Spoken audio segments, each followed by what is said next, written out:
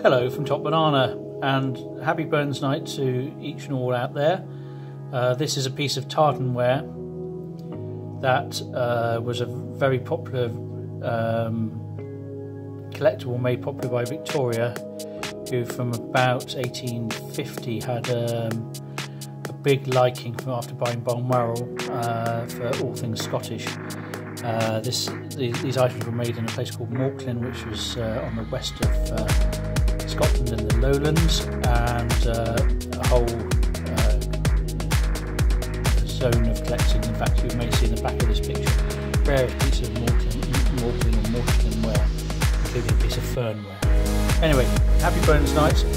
Have a great time. Uh, enjoy your whiskey, and um, and um, I'm going to resist singing you a song, but yes, I'm fighting back old syne, but I'm not going to.